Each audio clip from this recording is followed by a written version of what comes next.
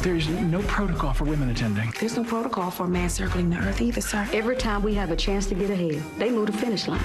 Every time. We all get there together, we don't get there at all. It's good to know uh, NASA hadn't given up on good old-fashioned brain power.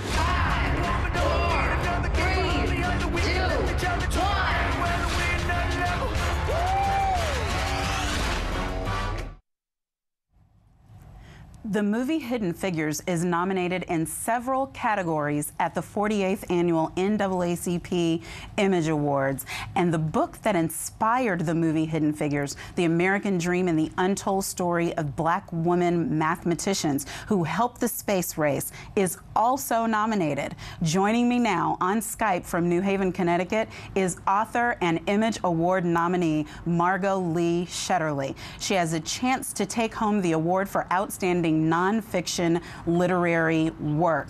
Margot, congratulations. Thank you. Good morning. It's really nice to be here.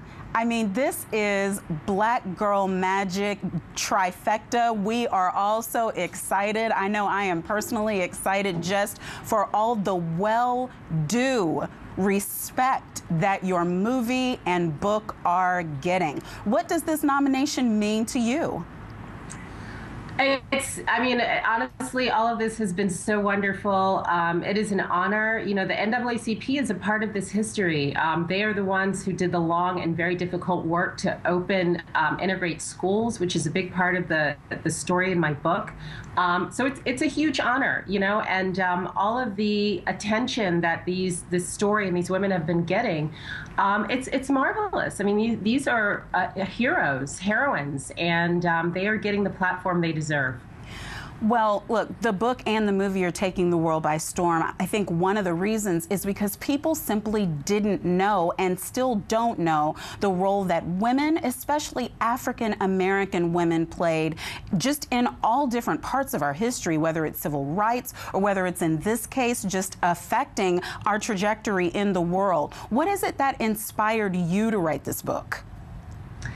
Uh, well, I was very fortunate because I knew uh, a lot of these women growing up. You know, my dad, he's now retired. He worked at NASA. He worked with these women, um, but they were part of our community, you know? So I think part of the reason why the story wasn't told is because they were doing a lot of other things, like helping their kids with their calculus homework and, you know, um, you know, carpooling and going to church, whatever. So, um, you know, I think that um, that is, uh, you know, one of the reasons why we haven't heard this story before. But, um, you know, the other thing thing is this this work that these women did was valued less than uh, what the men did, and so you know I think that by kind of pulling the curtain back on history, what we really understand is that there are so many people doing the work to create those heroic moments that we see as the culmination of a movement, but it's really the culmination of the hard work of a lot of people. Right, and still to this very day getting paid at a fraction of what a man's being paid for a same or lesser job, but I won't start. How did you feel